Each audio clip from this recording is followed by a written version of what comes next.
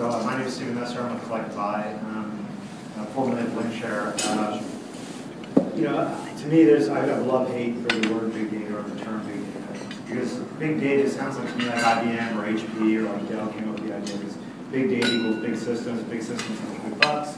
Uh, You know, and I can sell you big hardware and everything's happy. And if you just, if you store all this amazing data, how great is it? You know, and it sort of leads to this mentality, geez, I have to store everything, I have to create more sensors, because who knows what data is going to be valuable to me, and the bigger it is, the better I am, and if I have more of it, it's got to be good. Um, And, you know, it's funny, when you, when you look at an audience of people that we have here, or, you know, if I, you asked Don this earlier, um, you know, how much would it cost me to buy a list from two years ago?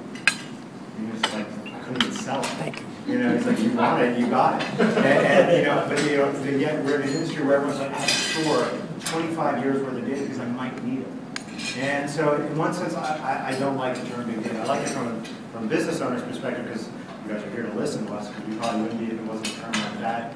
Um, but, but from a, from a conceptual perspective, when we talk about the techniques we use to mine data or to find answers, you shouldn't care. What you care about is really, you know, how, what are the big questions? Right? It's funny, no one debates at these topic panels, what are the big questions that marketers need to ask that this data could answer? We spend a lot of time talking about Hadoop, and how it's better than, you know, maybe better than Teradata, and it's cheaper, and it's, it's scaling data, and boy, there's, there's huge amounts of data. But No one actually talks about the questions they're trying to solve. And that's the only thing a group like this should care about.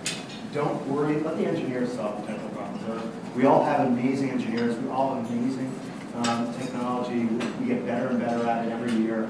Um, I, I would argue big data is about what are the big questions that can truly revolutionize your business or give you a strategic advantage, and then what data do you need to actually answer